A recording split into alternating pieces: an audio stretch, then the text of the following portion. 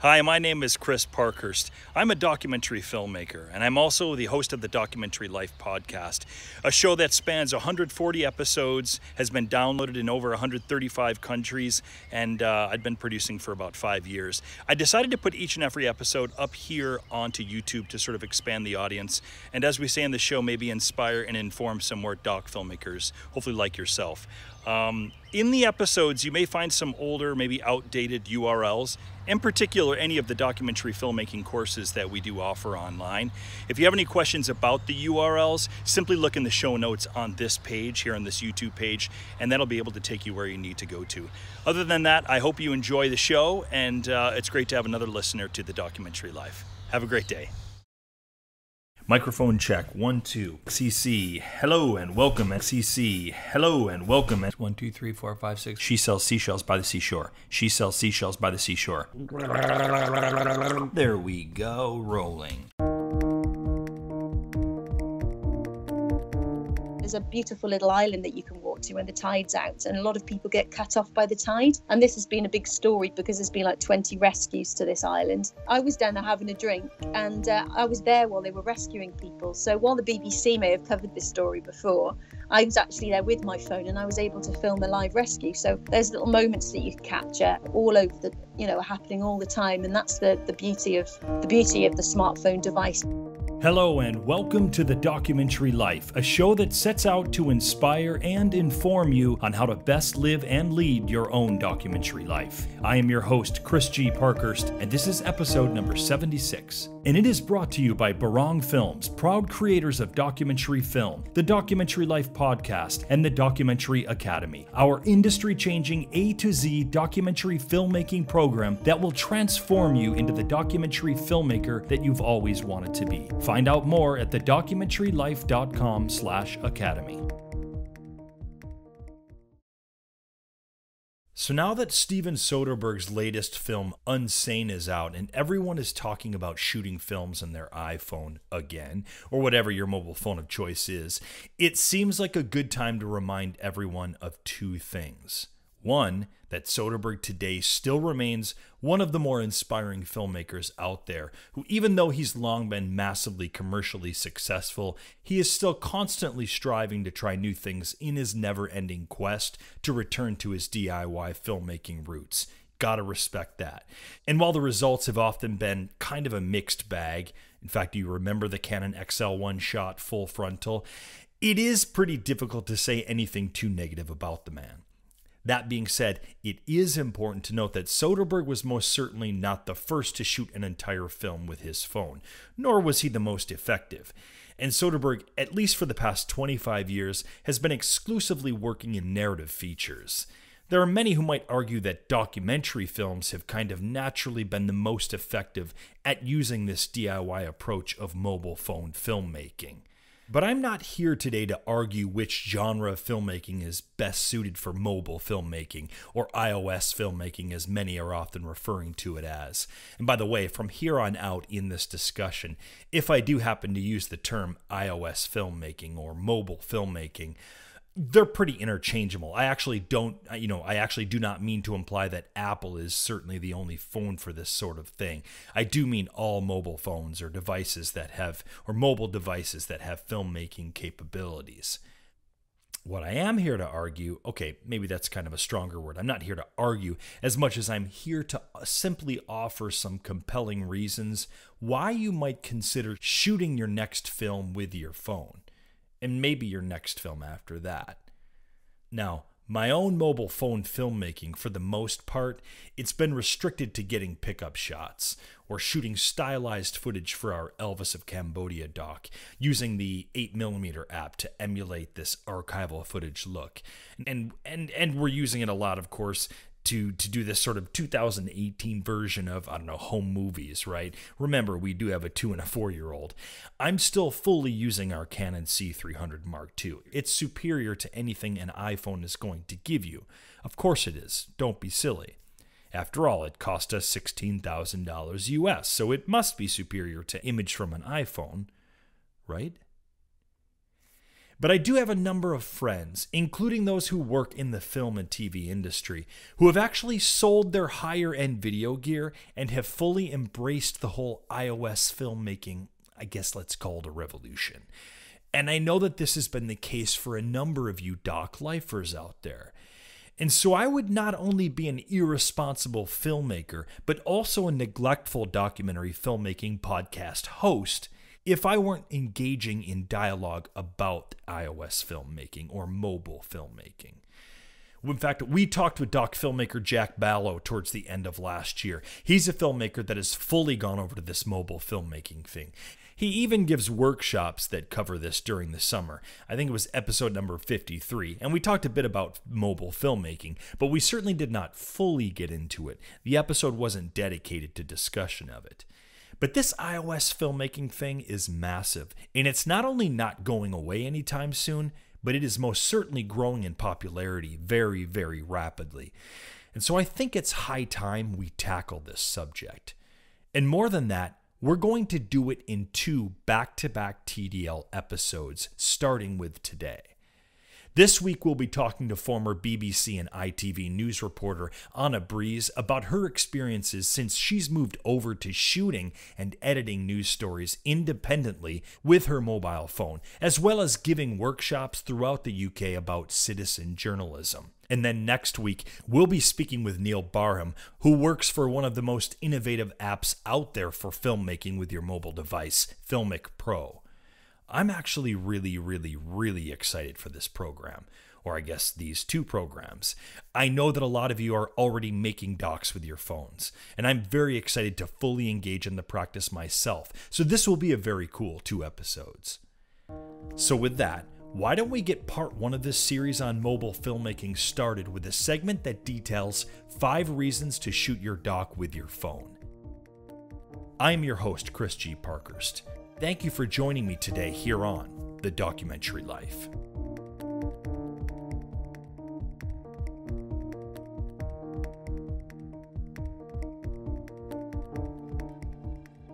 So let's dive right into five reasons to shoot your doc with your iPhone. Number one, it's cheap. I mean, come on. Of course, that has to be one of the reasons, right? I mean, the fact that you don't have to spend a ton of your budget on a camera because you, in fact, already have a camera in your damn pocket, it's a great reason to shoot your film, right? Right.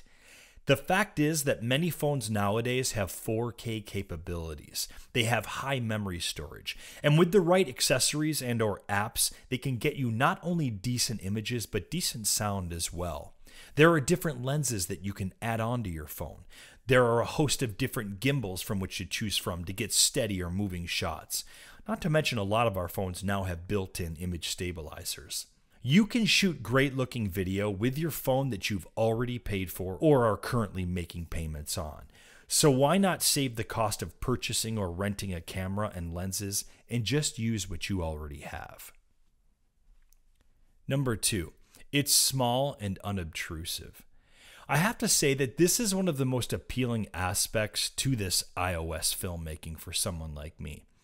I do a lot of work in developing countries, whether it be in Haiti, Cambodia, or Nepal. And the fact of the matter is, whenever I'm carrying around a big old camera and miking up people, it has an impact on the setting. It affects to some degree how people are in front of the camera. Similar to what happened when DSLR filmmaking blew up, making documentaries with your phone, it minimizes this impact on your film. And even more so, People nowadays, in all sorts of cultures, they're fairly used to seeing people use mobile devices, whether for making calls, surfing the internet, or taking photos and video. And because of this, there's a natural comfort level for your subjects that you might not get if you were shooting them with a sizable camera. Believe me, if I'd had the opportunity to shoot a film like Journey to Kathmandu all over again, I would most definitely be shooting it with my phone. For one, I wouldn't have to lug big camera gear around the mountains. And two, my subjects wouldn't be so freaked out by this big piece of electronic machinery that many had probably never seen before in their lives. That low impact on an environment and its subjects is something doc filmmakers we've been dreaming about for decades, and now we've just about perfected it. 3. they weigh next to nothing. Now, don't downplay this one. Anyone who has spent hours and days roaming around shooting verite for their doc knows what it's like to be lugging around a camera, lenses, batteries, filters. Even if it's attached to a solid set of rails and well balanced shoulder mount, it's going to take its toll on the body. Simply put, cameras get heavy. Your phone, on the other hand, is not. And even if it does get tiresome holding your phone up for long stretches of time, the nice thing is that you can always take a break if you need it and tuck the phone nicely into your body and, and kind of hold it snug there while you shoot until you're ready to go again. Or if you're shooting with a gimbal, you can just keep alternating between hands. It's ridiculous, right? Doesn't really seem fair. But fair is whatever. We're doc filmmakers. We'll take whatever help we can get. Number four, many can shoot in 4K. Yeah, I know, crazy. Phones shooting 4K. Who'da thunk it? I mean, it truly wasn't that long ago that only the mid to high range video cameras were shooting in 4K. So, this is a very cool thing. Absolutely, it is. It opens up a lot of possibilities for you as a filmmaker. For one, it gives you a second angle should you decide to punch in on a shot in post. It also allows for plenty of wiggle room when working with footage and color correction if you're playing with the image in, say, you know, After Effects. Again, having 4K is very cool, but while I am excited by the 4K capabilities now available to some of the newer models of mobile phones, certainly the iPhone 8, 8 Plus, and the 10, as well as a host of Android phones, I do want to temper some of that excitement. You have to remember that you're still dealing with a very compressed image, which means it's like shooting with a number of the consumer DSLRs. It's in 8 bit with a 420 color space. I could be wrong, but when we owned the Canon C100, this was the compression rate that we were operating with. I mean, what do you expect though? You are shooting the media cards like SD cards. That's why people get external recorders, which allows them to shoot in something like 4K RAW if they'd like. Anyhow, with this kind of compression, you are going to start seeing some breakup in the image when you start playing with it and adding looks or adjusting contrast, that sort of thing. And certainly you're going to notice a big difference when you project it onto a bigger screen. That's just the reality of dealing with this kind of compression. I know that people get really hopped up on the 4K craze, but just be aware of some of the limits. That being said, it's still a damn phone, right? And it's incredibly impressive what you're able to shoot with a phone, right? Right. Lastly, number five, multi camera capability. Because of the relatively low cost of a phone, at least in comparison to a video camera, and because so many of us have them nowadays, it's a pretty simple thing to roll more than one camera at any given time. And this is great for docs when shooting an interview or an event. When done right, it should be relatively easy to sync up afterwards when you bring it into the edit. Or perhaps you just like to have an extra phone or two so that when you fill up the drive space on one, you can easily just pick up another phone and keep shooting without having to stop and do a data dump. Having a backup camera or an additional camera to roll with is a pretty nice thing in any situation.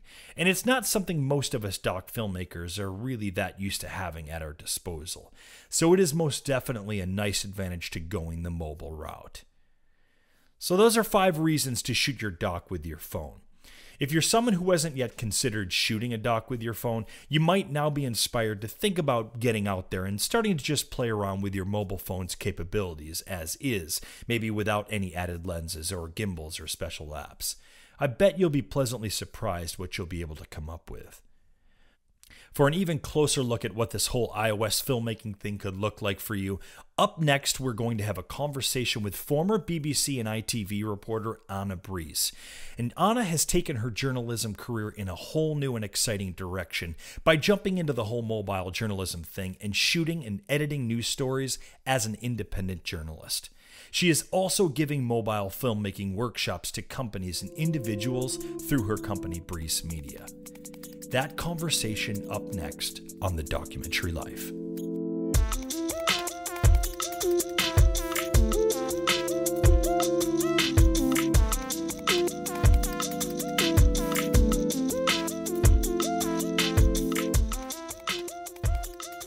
When I first started making documentary films, I was often making them entirely on my own dime. It wasn't that it was a conscious decision on my part, I just really wanted to get out and start making my film. Does this sound familiar to you? When you have a great idea for a doc and the opportunity to get out there and start shooting, you don't want to let something like money get in the way of that. And for a while, it may not, but unfortunately, unless you have unlimited resources, eventually it will. Not having money for your doc film will slow you down, reduce your crew size, your film production values and aesthetics, even the story you're able to tell. And that's not even accounting for the additional stress, frustration, and your inability to work on the project full time. We don't accept that for ourselves anymore, and we don't want you to accept it either. Money is out there for every documentary film, and that includes yours. Every day, money is donated or awarded to documentary films. Why not yours?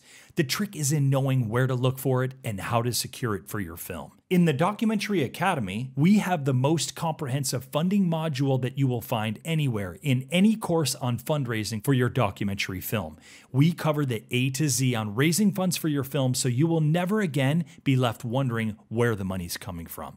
Enroll in the Academy today by going to thedocumentarylife.com slash academy and start your journey to raising 10, 25, or even $100,000 for your documentary film.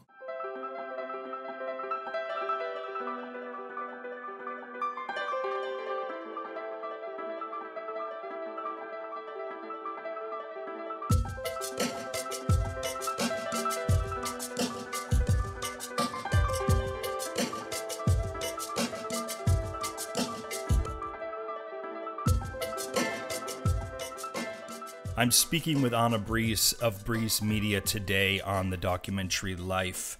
Anna is a former BBC and ITV reporter, and she has now really taken hold of the mobile journalism that has has very much become a big part of, of journalism today.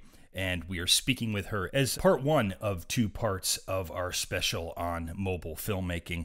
Anna, very happy to have you a part of the documentary Life today. Hello, thank you very much for inviting me on to talk um, about something that I'm very passionate about indeed. And Anna, what's kind of interesting is we have a number of listeners with a both print and and broadcast journalism background. Now, broadcast journalism is really kind of your background as well, and very much, um, uh, uh, dare I say, your specialty. And it's a big part of why we've had you on the program today. I think a good way to start this conversation might be to have some better understanding of what that journalism background consisted of for you. Well, I started off um, studying anthropology and theology, actually, which was uh, very interesting. I was going to be a missionary, study of man and the study of God. I thought that'd cover everything.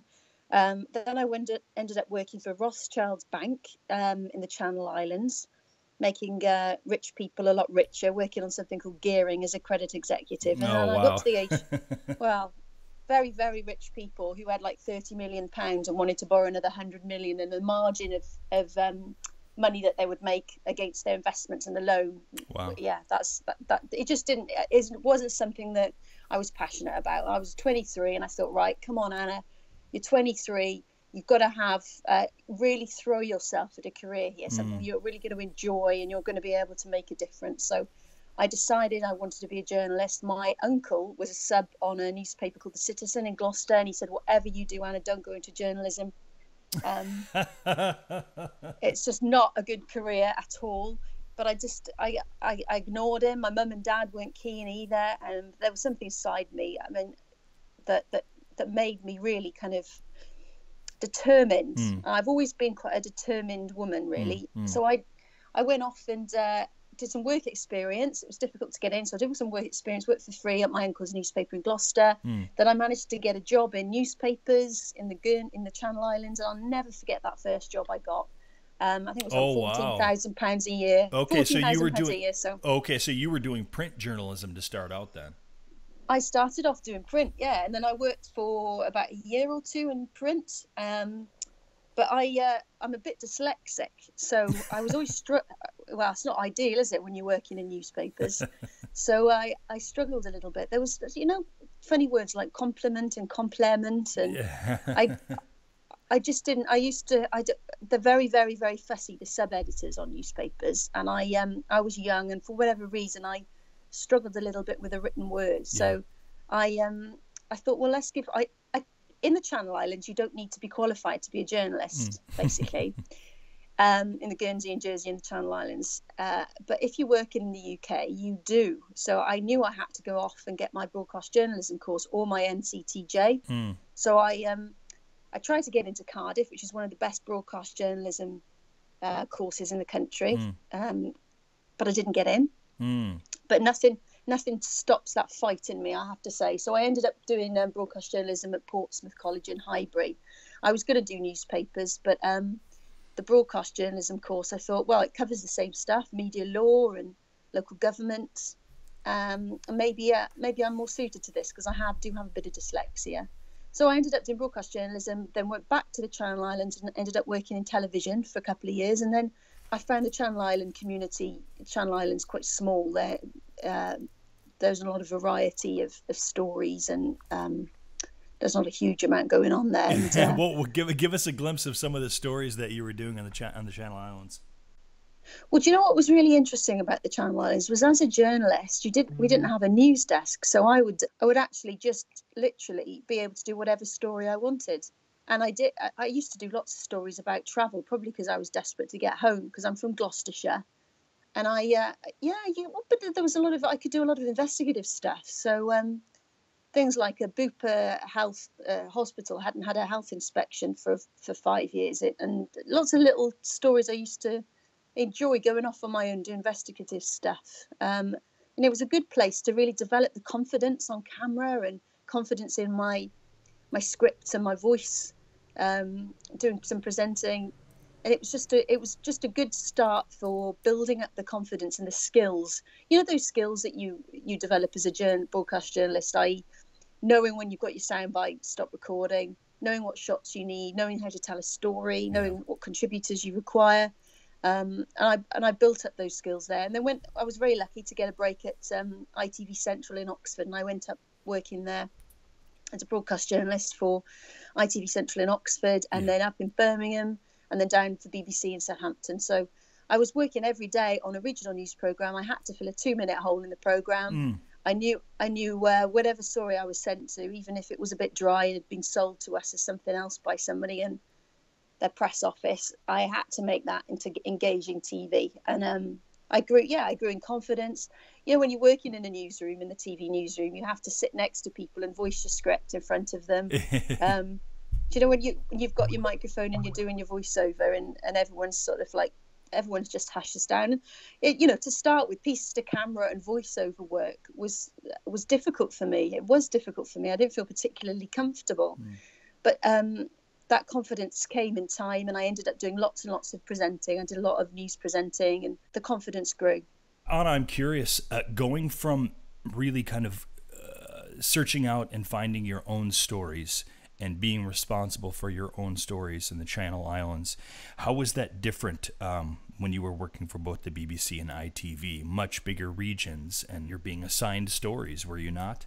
Absolutely. And uh, you could be one day, you could be doing the lead story for the program. You could be doing kind of um, something like a, a, big accident or terrorist. I covered the London bombings, for example. Um, and then at another time you could be given a story where it's just the and finally something that's quite light and uh, and and humorous so i had that difference really between um, in the channel islands having to create my own story so you have to get you know you have to build relationships with the community with politicians right. and with businesses um, you have to ask lots of questions make lots of telephone calls you have to be quite you know organized and make sure that you've got stuff coming up that uh, could potentially be a story. Keep in touch with people. So it's it's a lot. Yeah, it's a very different, really. And and knowing, do you know what the biggest thing is? Knowing what's important to people. Because mm. I hmm. always felt that I always had that responsibility as a journalist. As I had that power to fill two minutes of the program in the Channel Islands every single day. Mm. Was I covering the stories that were relevant to everyone?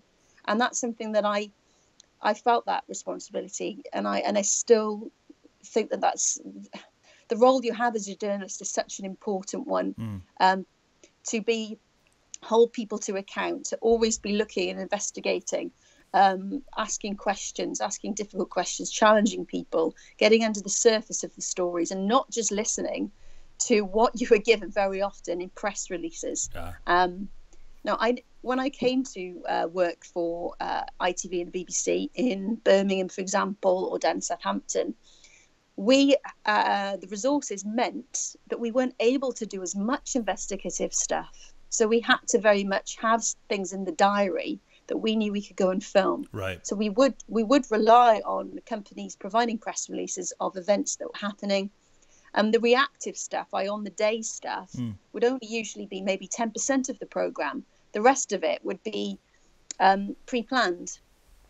Yeah. So we would. Uh, it was different. I think it was it was different at the BBC when I went to uh, go from ITV to the BBC. The BBC had more people working on planning um, and and having a little bit more time to investigate stories. But then the actual daily news program, you have to produce a half an hour program mm. every single day. Wow. So you you have to have things in the diary. You can't you can't just say right today we've got nothing planned we're just going to go out and see what's happening let's go find something to fill a half hour slot right you can't do that you just can't do it it's a, quite a big region as well i mean the midlands was a massive region as was southampton mm. you have so you have to have relationships with with people i mean we used to get stories from the newspaper when i first started in tv that was very interesting mm.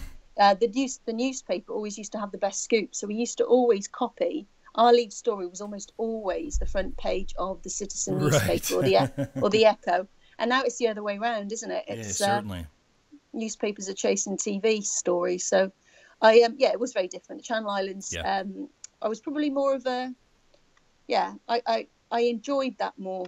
Um, it was more satisfying. Well, and it's interesting because I think, and, and, and we're going to get to this momentarily, it's really in many ways, uh, you've kind of returned to roots in the style of of journalism that you're now fully embracing, and not only embracing, but you are teaching others to do as well. So, um, you know, with that, it's a big part of the reason why we've had you on the program today.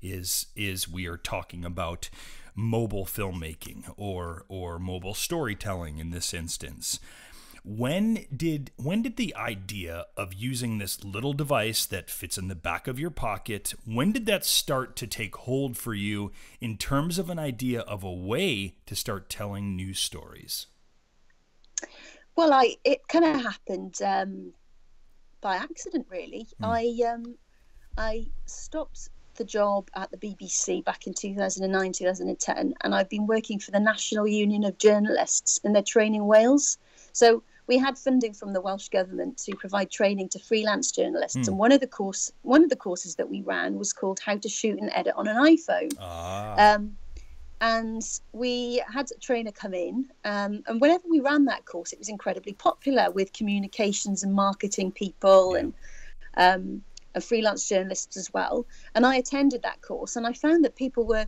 were book, we were selling out that course really in 24 hours and with a waiting list. There was a huge demand for wow. it. So I learned uh, a chap called very, a very talented uh, journalist, um, the ex-editor of the Birmingham Mail called Dan Mason trained me, and I I was just thought right, this is amazing. The quality now, um, what I'm able to do, um, and broadcast. So I I just started creating content and, and say you know I can film, edit, and broadcast within an hour. The mm. same quality of TV journalism that I used to to create back in um, back at ITV and BBC. I mean, I worked in in broadcast journalism at the BBC and ITV from 2000 to 2010. Right.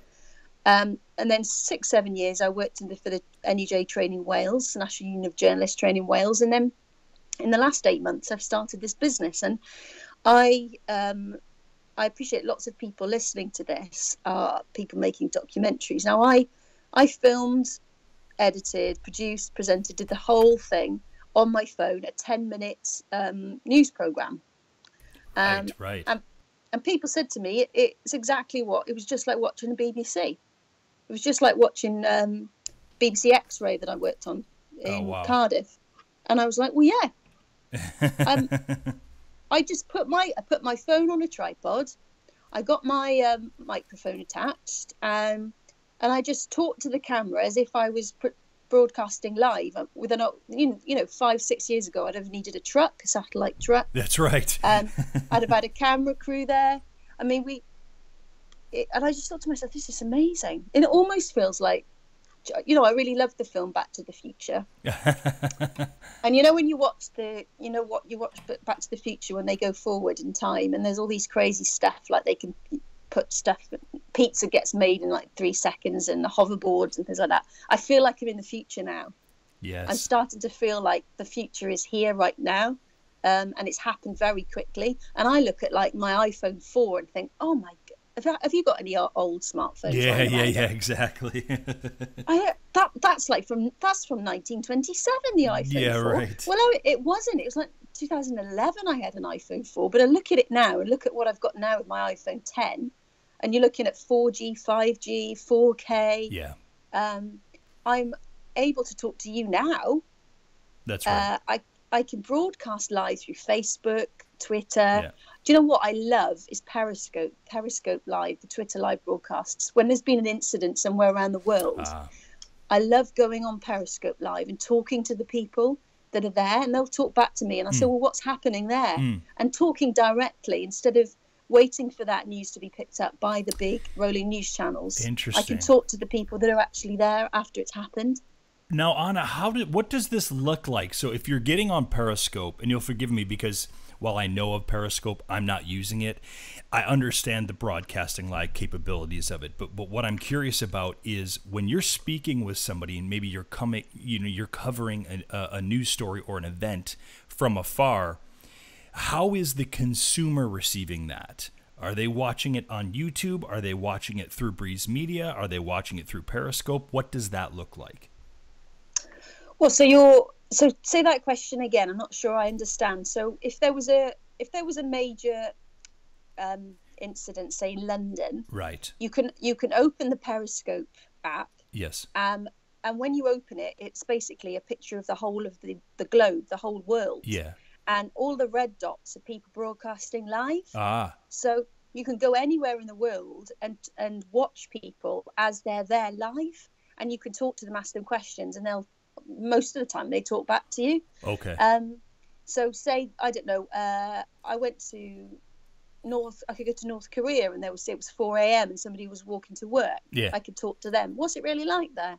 Or um, after a, ter- a terrorist event, or when there was you know a big weather event, you can actually see live. Mm. And what what often happens is, say for example, Sky News here or BBC News, they're on it as well, and they'll record it, and then they'll put it on the news channel. But it'll take a good sort of 15, 20 minutes until it's on the the uh, terrestrial TV. Right. So on it tilts on air. TV. Right.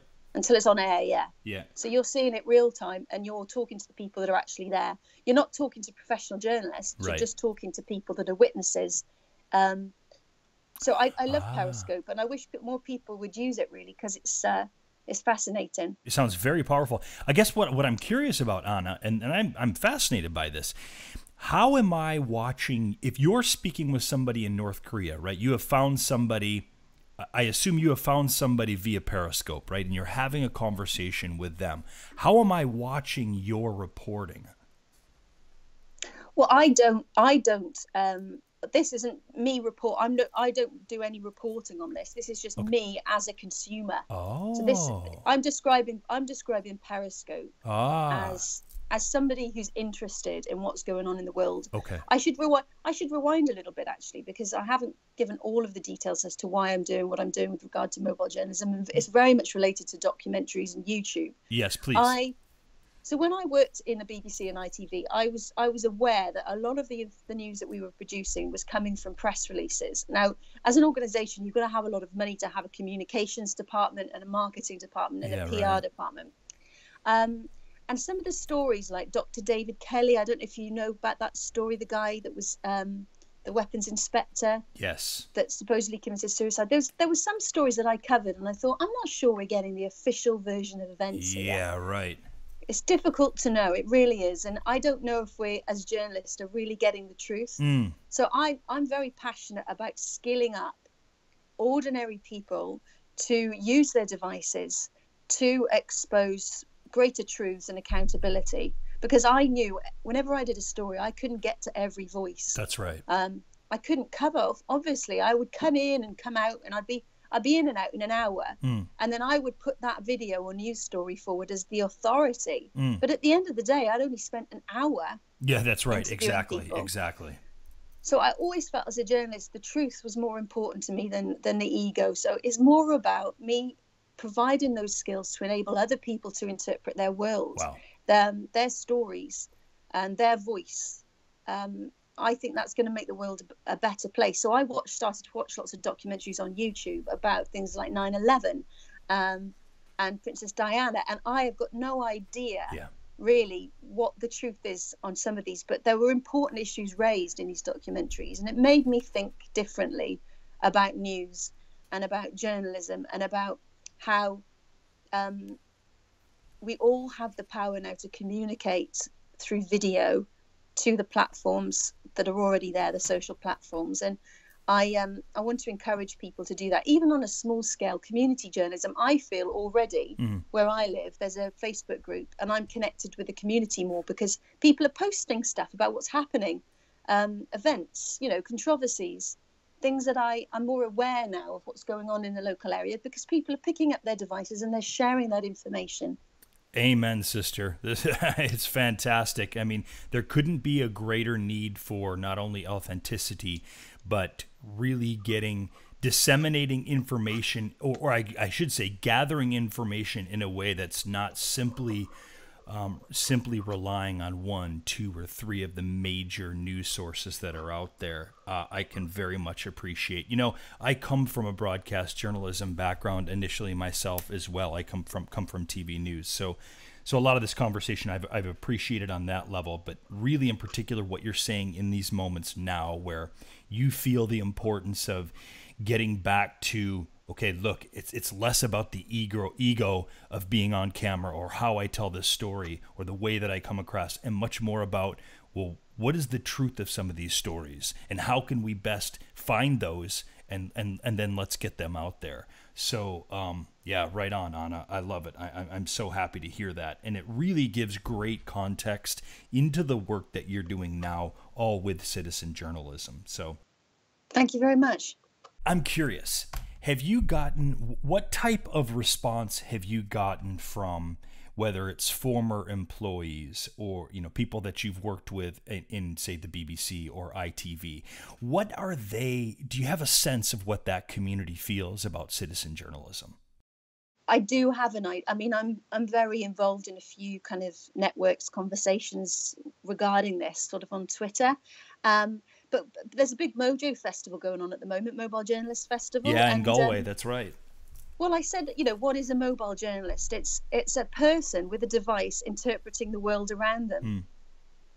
Well, that's everyone, isn't it? Everyone Yeah. who's got a mobile device interpreting the world around them is a journalist. And I, I am um, one of these people that believes every single voice and every single story has value.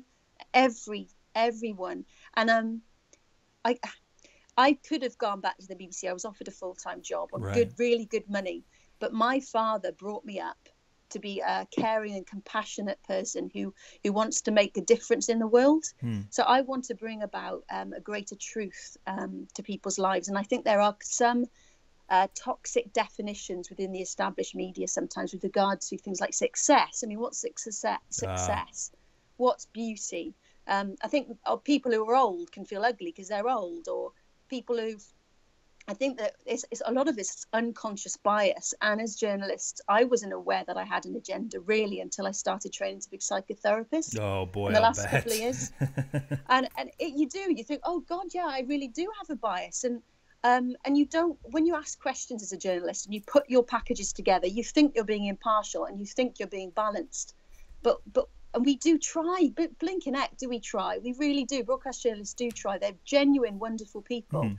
but i got under the surface of that and there is an agenda and i i want to help to try and open up the world and change definitions a little bit more when it comes to to things like um, truth and love and justice and success and um, I don't uh, yeah the, the whole citizen and community journalist thing I think what makes a journalist It's a very difficult question. Um, what do you think? I've I'd love to know what you think on that. It's something that I'm yeah. um, it's quite a it's, it's something that's changing. It's it's interesting. You know we have in the doc filmmaking community we have similar sort of conundrums at times because you know you have a conscious decision to make early on in the process of say the making of your doc film and it's okay how much do you want your voice or your opinions known do you want to try to remain sort of as objective as possible. And and and the fact of the matter is, Anna, and this I think goes for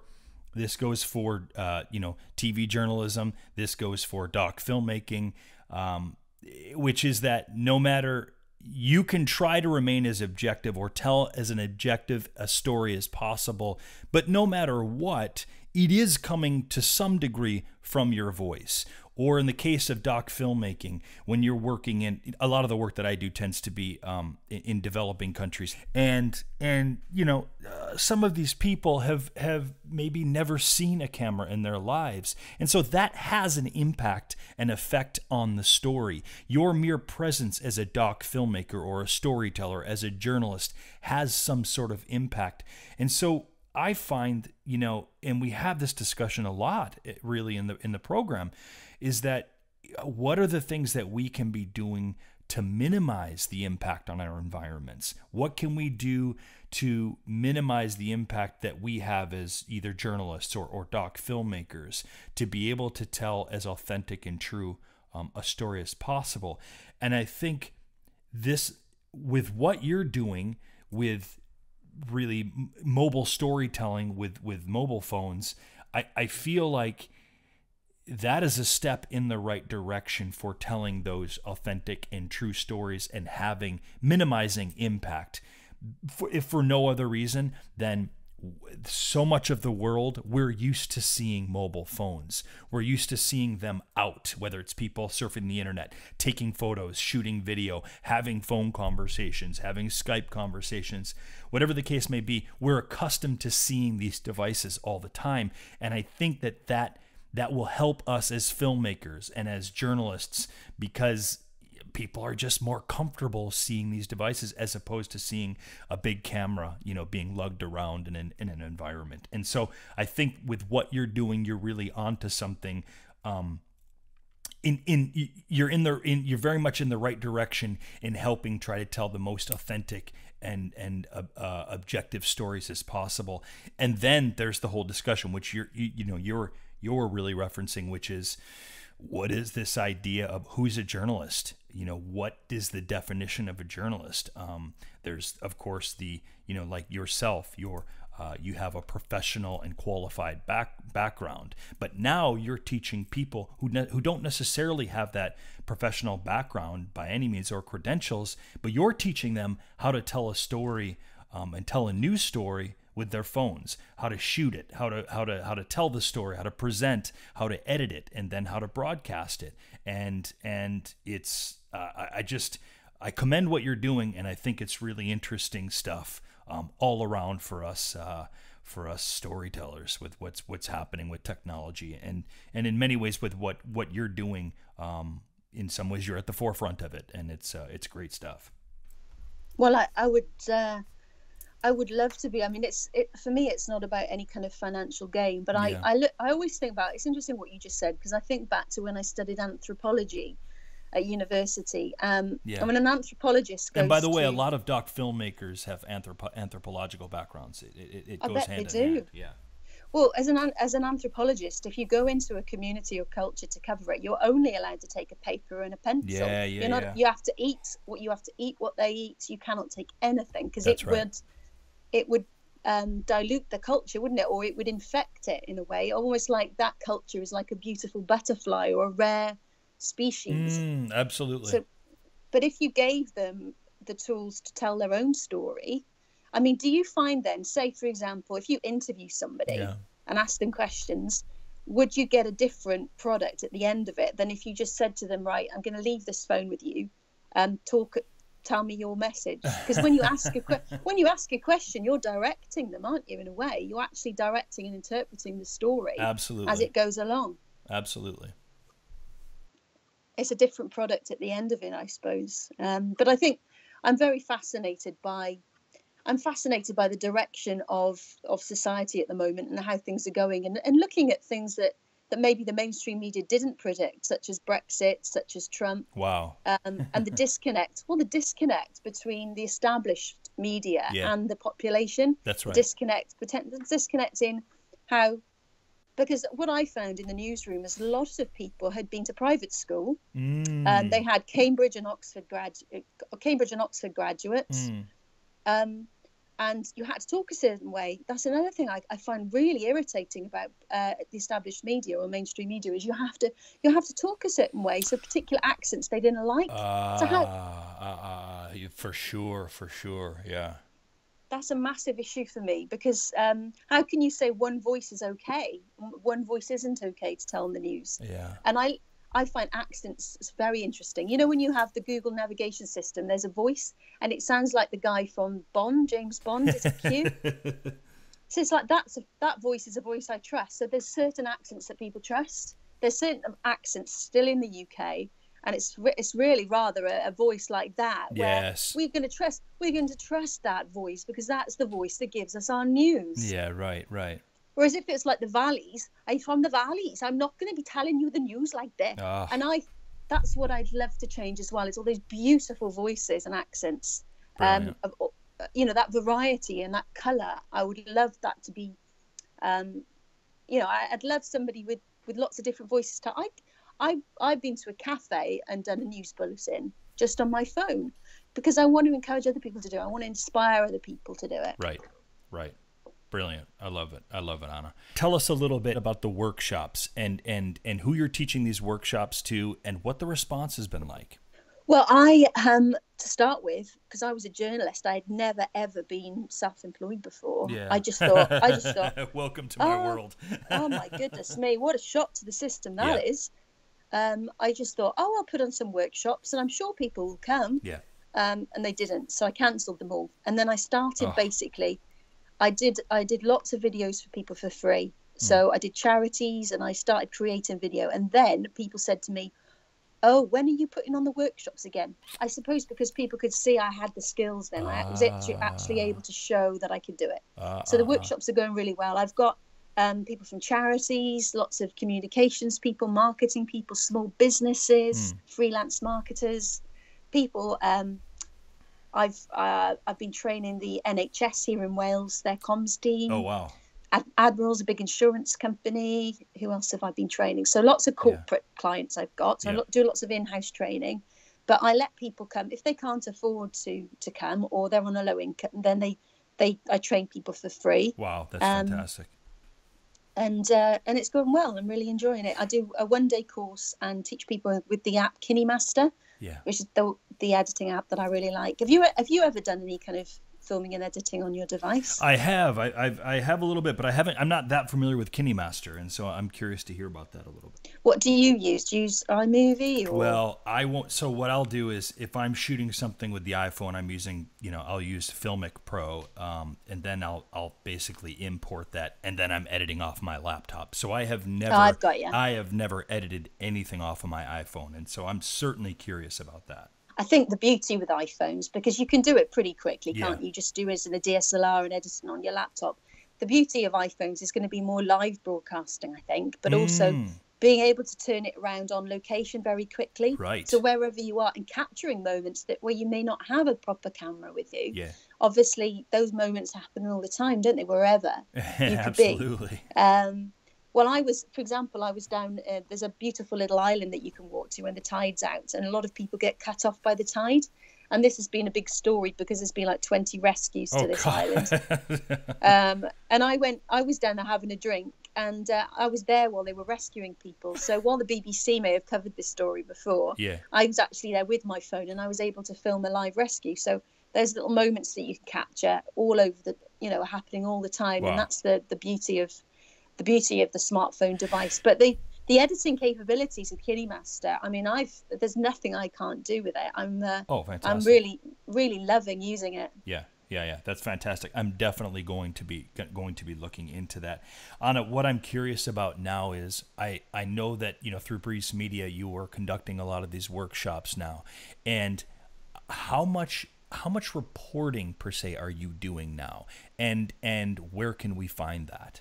I, uh, reporting wise, I have been working on a small local TV um, channel That's on right. Facebook. So I've posted those um, programs to YouTube.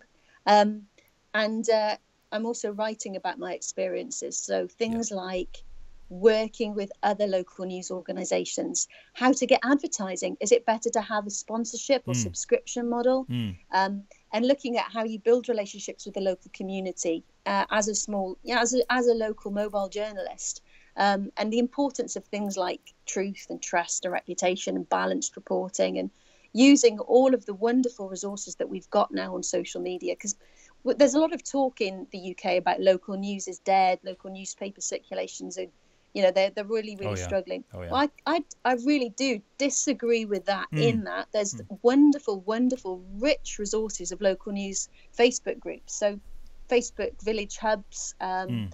We've got one here. We've got 25 posts a day in a very small village of all interesting, relevant local news. Wow. But they're run they're run by volunteers and they're run by citizen journalists. So people that don't have media law training, so Yes. they don't understand things like defamation or copyright. Mm. Well, they must be Um, looking to you for advice. I would imagine a lot then.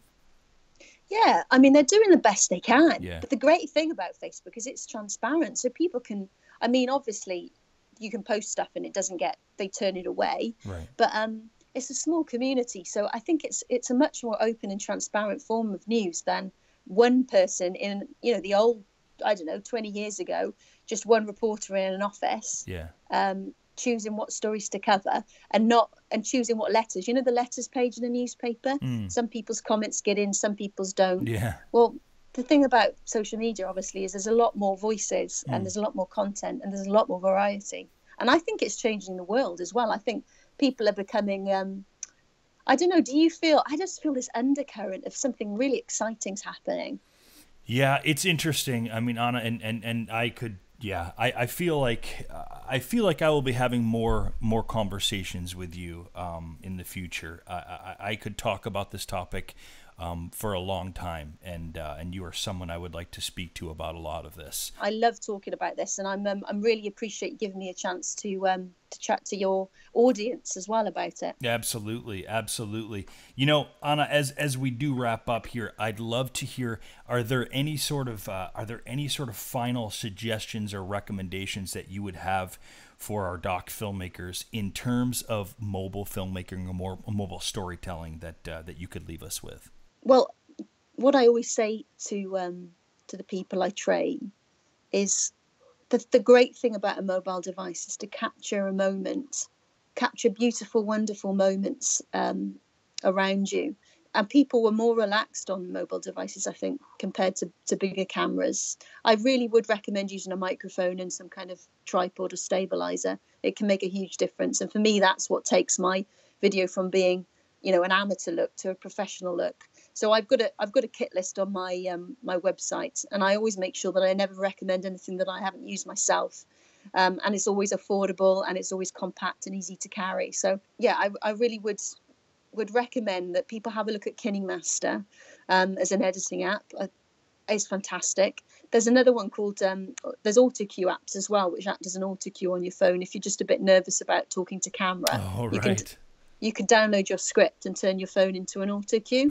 so while you read, that's really cool as well. yeah, yeah. Um, there's lots of lots of things out there. Um, okay. but yeah, my my advice to people making documentaries is well done and keep it up. I love it, and I my favorite channel and what I watch all the time whenever I have any free time is YouTube. Absolutely. And I'll, and other documentaries. I watch Netflix and Amazon. I don't watch normal telly anymore yeah, because I know that my chil- my children don't, and the broadcasting brands that we're going to trust in the future will be more of your kind of user generated platforms such as Netflix, Amazon, YouTube, Facebook. That's right. And and the website that we could go to to check out that kit list is it breesmedia.com? breesmedia.co.uk. Yeah. I'm sorry, of course, of course. That's okay. and we will be putting links to a number of the things that we have talked about here on today's program. We'll go ahead and, of course, as we always do, put them up in the show notes. Anna Brees, uh, I would love to have you on the program again at some point. You have a lot to say, and it's a great discussion that we um, digital storytellers uh, are more than eager to participate in. And uh, you are someone I'd like to hear more from. So fantastic. Well done. And thank you for being on the documentary life. Thank you very much. And what I would say is, none of us are in this to make money, are we? We're doing it because we um, we enjoy telling stories and we love communicating the true world around us. So keep up the good work, and um, I appreciate very much you uh, giving me the opportunity to talk today. Thank you so much, Anna.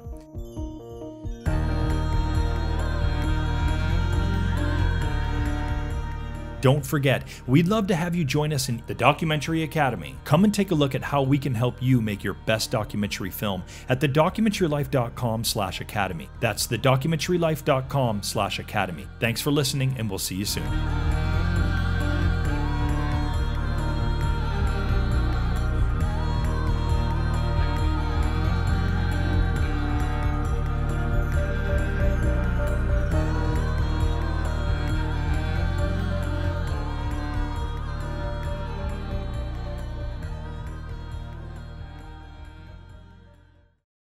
Thanks again for listening to the show, and remember to like and subscribe to this channel. Also, remember for any of the URLs that may or may not be outdated, and you want to get the most up to date information, perhaps for the documentary filmmaking courses, for the blog, for other episodes, just go ahead and check in the show notes below on this YouTube page, and that'll give you the correct URLs to use. Thanks again. Have a great day.